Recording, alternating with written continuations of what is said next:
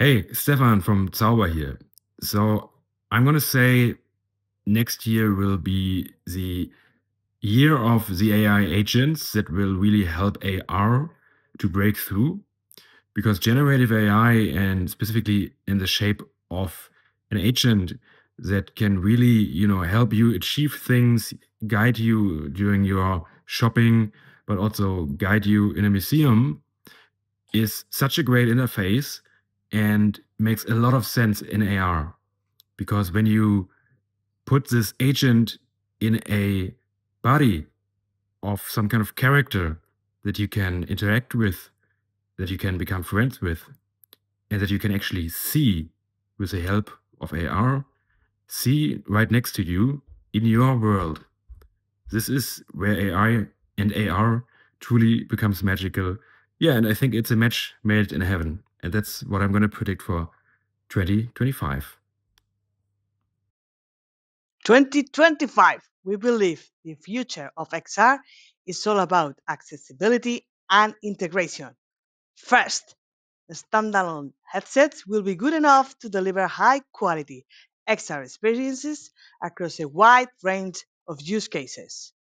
Second, automatic transformations of existing industrial 3D models into XR contents using third-party integrations, this will make XR collaboration faster and more intuitive than ever. Finally, 2025 will be the year mixed reality truly takes off. New versions of almost every manufacturer will come with high quality RGB pass through cameras, bringing XR into prime time. Bye.